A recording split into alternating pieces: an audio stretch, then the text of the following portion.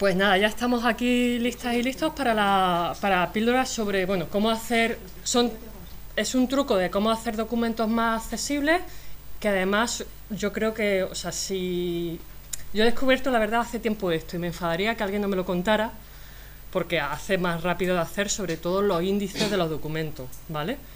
Pero bueno, sobre todo vamos a empezar y esto va a, a rayar un poco con una pregunta y una pequeña entrevista a Mar. Bueno, sobre todo, ¿cómo viene Mar al curro? ¿Alguien lo sabe? En tren. Pero, ¿y qué viene haciendo cuando viene al curro? Escuchando, ¿no? Audiolibros. Escuchando audiolibros. No, enseñas un ejemplo, Mar, de, tu, de tus audiolibros. ¿Alguien lo sabía que escucha libros cuando viene? ¿Sabéis cómo lo escucha? Primera. Elvira, 1883 a 1948. Ahí es cuando se ha Vale. dormido ya Mar. Capítulo 1. En una ocasión me dijeron que Elvira había sido matada. Hace un- un- una idea, ¿no? Es, eh, ¿Tú dónde, consi- es- con- dónde consigues esos libros, Mar? En la biblioteca digital de la 11 me los descargo, los renombro y escucho los libros que, que me Ujú. apetece. ¿Y Cualquier tema. qué tipo de archivos son? MP3, Es un MP3, ¿no? Es una persona que lo grabada lee, la voz, ¿no? efectivamente graba el libro. y, me, eh, y me contabas algo de la voz también de la Sí, sí, hay voces como la que acabáis de escuchar ahora mismo, que es una voz más cálida porque es más fácil de escuchar y vamos a buscar otro ejemplo de otra de otro libro que he estado leyendo, pero que es mm, como que más eh, más plano y, y no te apetece tanto escucharlo porque Sí. es mucho más rápido. Fijaos cómo pasa de capítulo a capítulo. Entrada 9, 6 de agosto, 0345 horas, invitado. ¿Dónde estáis? Es que nadie consulta ya este maldito foro. No puedo creer que Hay diferencia entre la voz de antes que aunque eran como más plana que decíais uno que me dormía pero a mí por ejemplo me gusta más el otro porque le pone énfasis le pone si habla un personaje u otro se nota la diferencia sin embargo la que acabamos de escuchar es siempre lo mismo o sea no tiene Es un poco voz de GPS. sí sí sí sí si- siendo voz humana no tiene ninguna alegría o sea no, no, no entona nada y no se nota la diferencia de los personajes que lee Bueno, y ahora vamos a hacer la- el enlace con lo que íbamos a hablar. ¿Cómo lee una persona, imaginaos, completamente ciega, alguno de los documentos de plena inclusión? Texto alternativo. Con texto alternativo. Bueno, es una de las opciones, ¿no? Ahora explicaremos lo que es el texto alternativo. Pero bueno, tiene un programa parecido a este botón que yo me he puesto aquí, que lo que te hace es leer- ir leyendo la pantalla. Esto no hace exactamente lo mismo, pero bueno, para que os hagáis una idea. ¿Le doy aquí? Plena inclusión. Contenido. Marco de Derechos Internacionales. 2. Una breve introducción sobre la jerarquía de normas y las obligaciones del Estado en... Bueno, os hace una idea, ¿no? De cómo, de cómo va el tema. Imaginaos que hacemos un documento de 200 páginas. ¿Cómo llega al capítulo. 38, ¿no? Si hacemos, o os habrá pasado algo así, ¿no? Si hacemos este tipo de índice, ¿cómo llega a esta página, ¿no? O a este contenido que le interesa. No sé si me entendéis, cuando no hay ningún enlace. Pues nada, dándolo para abajo hasta que. Tiene que ir para abajo, tiene que ir leyendo todo el documento Todo. muchas veces hasta llegar a- al contenido que le interesa. Y además que le ha pasado, este es un documento que me ha prestado Amalia, que le he pedido permiso para hacer esto. Imaginaos, y ahora vamos a verlo desde nuestra perspectiva. Soy Amalia o soy cualquier profesional de plena inclusión que estoy haciendo un documento y estoy actualizando el documento y me voy a las conclusiones. Estamos viendo el índice en pantalla, también un codazo si no describo, ¿vale? ¿Por qué le digo a, Mal- a, a Mar el tema de la descripción? Que me dé un codazo. No puede ver, ¿no? No Porque a, lo mejor personas que ven este, este vídeo, o sea, que escuchan este vídeo que no pueden ver, necesitan que yo le describa lo que está pasando en la pantalla. Estoy bajando en la pantalla y me voy a las conclusiones. ¿Qué página pone aquí abajo? 17. ¿Y qué página ponía en el índice? De las conclusiones. 14. 14. Cada vez que cambie el... O sea, os habrá pasado, ¿no? Sí. Tengo que ir aquí y cambiarlo a mano, ¿no? Ahí, aquí poner 17. A que eso os cuesta bastante tiempo. Bueno, pues de eso a esta formación, de cómo conseguir que esto lleve menos tiempo y además hacer el documento accesible, ¿no? Que lo podemos hacer de, la- de, de una forma muy sencilla, ¿vale? Lo primero, y os paso una chuleta. Eh, no sé si hay copia- copias suficientes. Que no compartimos, no. A ver, yo me tenía aquí mi propia Olga, chuleta. lo- Sí, Antonio, sí. perdón. Olga, lo podrías hacer de cero para que la gente lo explique Lo- mejor. sí, sí, justamente es lo que es lo que voy a hacer de cero, ¿vale? Es un documento en el que ya tenemos creado los contenidos y voy a hacer de cero el índice. No sé si alguien alguien se ha fijado alguna vez esto de aquí arriba de los estilos. Sí. Pues va de eso, básicamente. Si alguien no se había fijado, es coger cada uno de los encabezados del documento y marcarle un estilo. Eso es lo primero que tenemos que hacer, Antonio. Sí. Esto es importante, ¿vale? Sin esto no funciona el índice. Marco y le pongo un estilo. Y a este, por ejemplo, le pongo el estilo Esto, 2. Olga, puedes ir más despacio. Es, he cogido un- un- uno de los encabezados y le, y le he puesto un estilo. Sí. Y al, y al otro encabezado, que creo que es como de segundo nivel, estaría como por dentro, le he puesto título 2. ¿Vale? O sea, en uno pones un estilo, pero puede ser cualquier estilo. Mm, yo solo- sobre todo suelo usar título 1, título 2 y título 3. ¿Vale? Pero puede ser cualquiera de ellos, lo que pasa que luego veréis que uno os coge el índice y otro no. Pero bueno, Perdona, ¿y está predeterminado o lo puedes...? lo podemos. ah, Esa es una buena pregunta. Lo, luego podemos meterle estilos con la maquetadora, por ejemplo, para que salga el color de plena o el, o el color del PSOE si estamos haciendo la, la adaptación del programa electoral de, con el rojo del. ¿No? Imaginaos, ya voy a. ¿Este de qué nivel sería? Del uno. Del 1 porque es más, más importante, ¿no? ¿Y este Antonio qué nivel sería? Sería en el título 2. Vale, le pongo título 2, ¿vale? Voy haciendo todo eso con todos los con todos los títulos. Y ahora me voy y me cargo el índice que he hecho a mano y le doy a referencias, esto está en el en el, ¿vale? Y me voy a tabla de contenido, ¿vale? Y aquí puedo escoger una de ellas, por ejemplo esta. ¡Tarán! Mágicamente ya me ha detectado cuáles son. Me ha cogido todos los que he ido marcando. ¿Vale? ¿Qué pasa si meto nuevo contenido o si. Digo, esto no queda bien aquí, lo voy a, llevar a la siguiente página. A lo mejor ya me cambia el número de páginas. ¿Cómo actualizo esto? Pues sencillo, me voy al menú arriba y le doy a actualizar tabla. ¿Lo veis? A actualizar toda la tabla y ya te cambia los números de páginas. Muy bien. ¿Y, esa, y a esa también se le puede definir un estilo determinado? todo. Sí. Exactamente, sí, sí. A todos se le puede. Como, bueno, eso no era parte de. Porque quizás es un poco avanzado, pero para cam- cambiar los estilos, que creo que lo debería hacer más bien la maquetadora, le damos a- a- dentro del estilo a modificar y ahí le podemos poner pues Calibri, Arial. De hecho, yo lo que tengo, y por eso, o sea, para ir más rápido, es un modelo donde ya tengo todos los estilos aquí definidos, ¿veis? Siempre veis que yo uso unos verdes, unos blancos y todo esto. Y con el índice ya preparado, y los números de páginas puestos, y el enlace, y, y todo esto.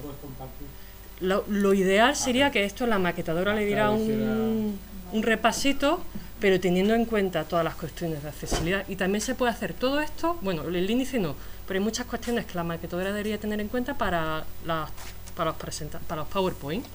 Y Sí.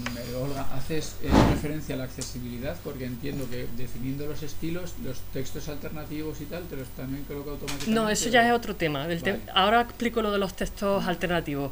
Pero esto mejora nuestra rapidez a la, a la hora de hacer los documentos porque actualiza los índices más rápido.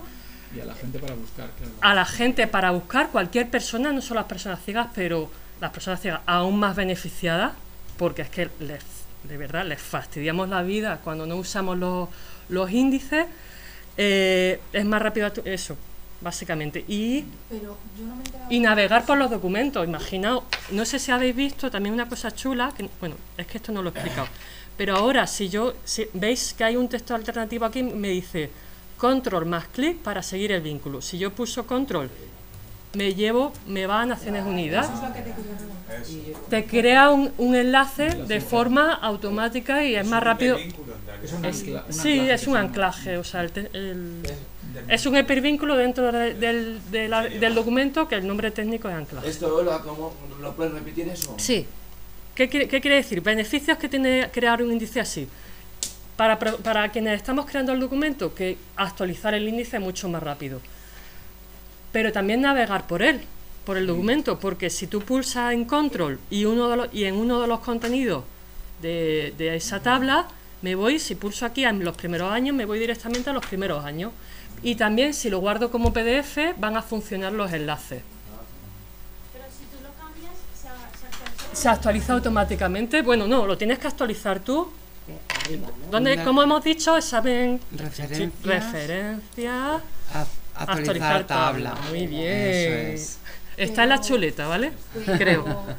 Yo ya en algún documento que he visto que se te pone como la manita para, man- para que sepas eso, ¿no? Porque, o sea, a mí de alguna manera, si tú no sabes que poniendo encima, dándole a control tal, te manda, si tú no lo sabes, no Pero te por eso sale. te lo pone como alternativo. Es Ahí. que, claro, la manita, La te, lo- te te- sale en te PDF, sale en ¿no? PDF. Mm, Aquí no. claro, es por el software. Lo digo porque al final, si tú no sabes que eso te va a salir, Claro, en este caso, o sea, es más para edición, te, la manita te sale en PDF. En Word no te sale Pero, el índice.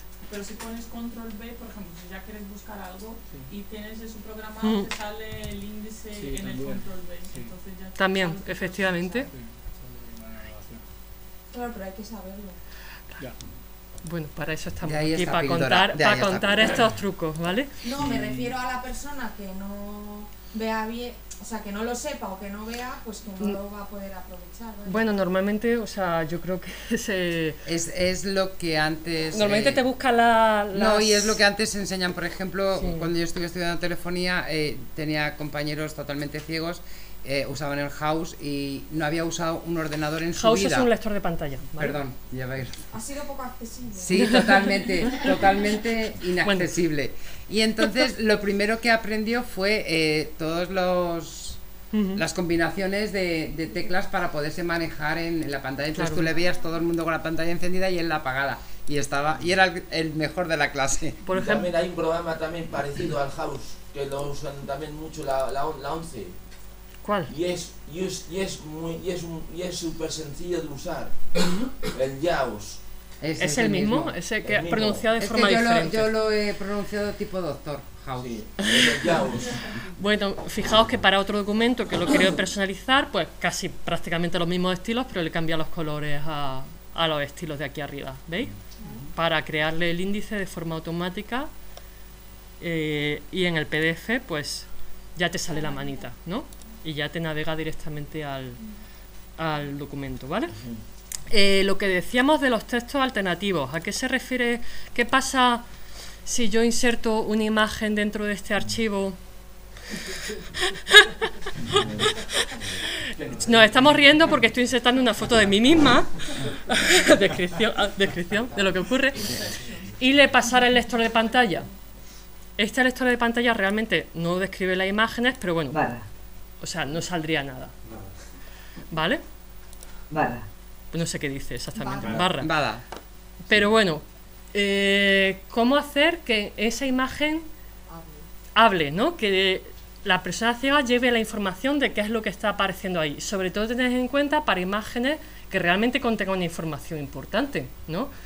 Que en realidad lo que tenemos que hacer es evitar que, por ejemplo, gráficos, bueno, eh, que haya textos dentro de imágenes. Es decir, que si hay si, si podemos que sea siempre sol- texto, ¿vale? Y que cuando pongamos imágenes es porque no se puede explicar de otra manera. ¿Se entiende un poco? ¿Vale? Entonces, eh, ¿cómo se hace? Pues eh, pincho la imagen y me voy a formato de la imagen. He pinchado el botón derecho, ¿vale? Y aquí en la... Es que a veces sale de una manera y a veces sale de otra. Aquí en esta opción que sale como una especie de flechita, po- pone texto alternativo, escribo aquí, eh, persona sonríe. Esto tenemos que pensar una descripción para una persona, imaginaos que la persona, pues estáis hablando por teléfono con ella y no está viendo lo que sale en pantalla, que es lo que, y que, sean pocas palabras. A lo mejor en un documento os interesa poner Olga mira a cámara o persona sonríe porque no, porque no os interesa identificarla, no lo sé. Pero que sean pocas palabras y muy directa la descripción, ¿vale? Y luego otra cosa maravillosa que la descubrí hace muy poquito en, en redes sociales es que además hay una forma que también Antonio conoce, que es el comprobador de accesibilidad de los documentos. Que solo os voy a enseñar dónde está, Tampoco vamos a profundizar en cómo se resuelven todos los problemas, pero para despertar el gusanillo. Si me voy a archivo y eh, le doy a Eh, compro- donde, donde, donde comprobar donde no hay problemas, haces ahí un clic comprobar si hay problemas y comprobar accesibilidad. y ahí te da todos los problemas que tiene el documento de accesibilidad. ¿Y esto es un programa o está metido en.? Esto está metido en Word y está metido en PowerPoint. Sí. No es un programa aparte, ¿vale? Entonces, fijaos, ya me está diciendo falta, falta un texto alternativo. Yo me voy aquí y ¿cuál es el texto alternativo que está diciéndome que falta? ¿Qué imagen? La El logo, El logo de arriba. ¿vale? Y ya le podría decir aquí logo de tal. Y entonces podéis ir pasando por todos los problemas e intentando resolver. No os voy a explicar porque luego hay otros problemas un poco más difíciles de resolver, de posición de, las, de los elementos, las tablas. Eso ya es como más para profundizar, pero bueno, Tenemos que de- hablar con Bill Gates para que introduzca en el software ¿no? la accesibilidad cognitiva también. Bueno, y yo creo que es... Ah, Pues es lo que acabo de hacer, mira, luego, esta es que no veo ni siquiera yo lo que, que logo es. Bueno, y- Es el- imaginaos que el, el instituto... no, eh, ¿Cuál es? eh, de- del proyecto que es de Inclusion Europe. ¿Inclusión Europe es el logo? No. Bueno, Venga, que lo lea. no, es que no, el doc- este mm, programa no le... Barra. No sé por qué no me lee las imágenes. Pero bueno, debería leer luego Inclusión Europe, básicamente, si yo le doy a leer, ¿vale? Así que un poco en resumen, sobre todo, cómo crear índices de forma automática nos beneficia tanto a quienes editamos, pero también a quienes navegan, usan los documentos y también por un tema de accesibilidad. Un segundito, Antonio, hago la recopilación. Tema de escribir imágenes, importante que no solo es- se puede hacer en Word, se puede hacer en PowerPoint, en redes sociales también se puede hacer, en Twitter eh, y en página web, se puede y se debe por accesibilidad. Y el comprobador de accesibilidad que está in- incluido en Word, en PowerPoint y en Excel también, ¿vale? Y esos son los tres Eh, tru- truquillos esto- que os quería esto, contar. Olga, ¿Y cómo haces para, para eso de leer? Uf, te mando un tutorial porque es un poco largo, ¿vale? Te mando un, Sí. un vídeo que me he encontrado en internet hoy, justamente para Sí. enseñarlo. Una pregunta eh, eh, con respecto a, a los títulos, a los formatos de títulos, eh, comentabas eh, que podemos pedir la media a nuestra diseñadora eh, que lo normalice para que todas podamos utilizar el mismo. ¿Y cómo lo insertamos en nuestro... En nuestro Es básicamente que nos mande una plantilla como yo, la que yo tengo, eh, Ah, con tú- ya todo preparado.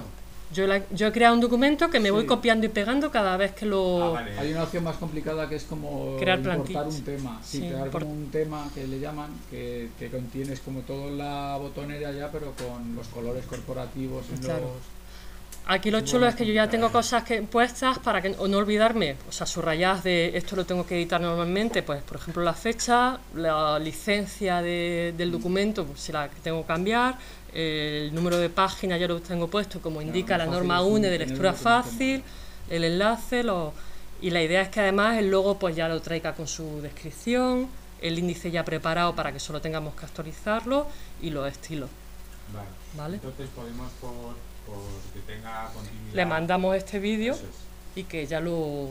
El vídeo y el, y el archivo... el archivo y que ya retoque para Sí. que quede un poquito más cookie, que esto lo he hecho más... lo de los temas también. Mira, si te vas a diseño un momento... Eh, Que también puede hacer... sí, eh, espérate, no sé si es... No, en formato. Es que no me acuerdo dónde estaban los temas. Bueno, lo buscamos, sí, si lo no, buscamos. lo buscamos y le Es que decimos... eso también es sí. interesante porque si agrega ese documento modelo un tema con los colores Mm. corporativos, le, sa- le sale por defecto todos los colores, de forma que si quieres introducir, yo que sé, una negrita con el color verde o...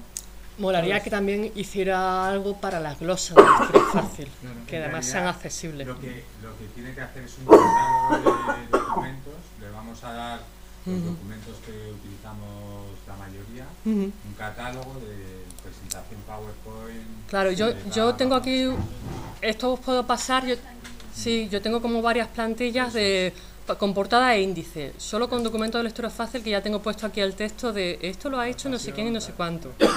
Pues que esto se lo, lo mirase un poco, ¿no? o sea, yo-.